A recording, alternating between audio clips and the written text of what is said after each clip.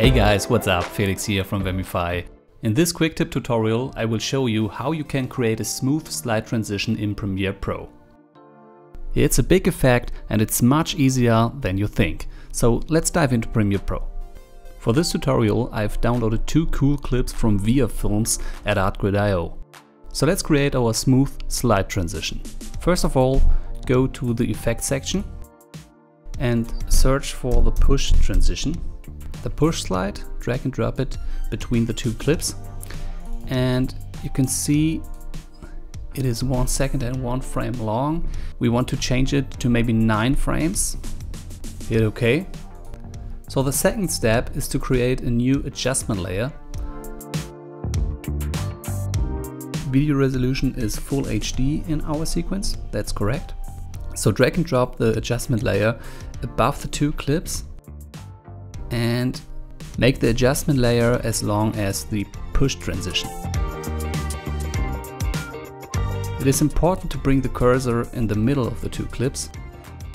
Click on the adjustment layer. Again, go to the effects panel and search for the directional blur. Drag and drop the directional blur to the adjustment layer.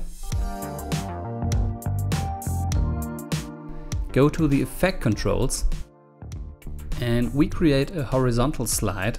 So we have to bring the direction to 90. Let's say the blur length to 300. Yeah, that looks nice.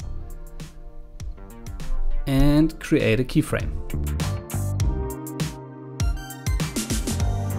Then go to the beginning of the adjustment layer, hit the keyframe button and go to the right click and create a ease out so it's a bit smoother. Then scroll to the end of the adjustment layer and create a keyframe and hit ease in. And here you are, that's all. This is our smooth slide transition. In the description below you will find a link to our website where you can download our free sample pack. You will find some cool sound effects in this pack as well. So let's push our smooth slide transition a bit with a cool swoosh.